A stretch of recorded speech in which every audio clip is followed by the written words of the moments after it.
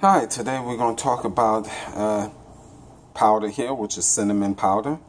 Uh, this is very, very good uh, to have.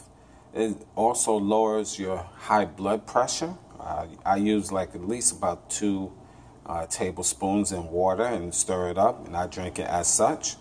Uh, it's also good for great for diabetics. helps lower sugar level.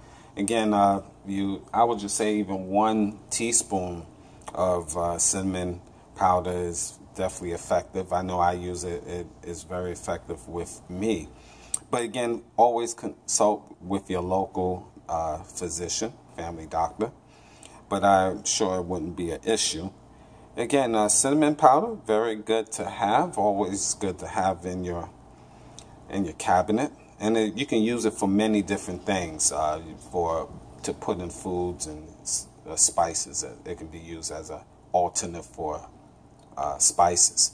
But again, check it out. Always have. And, and again, until next time, take care.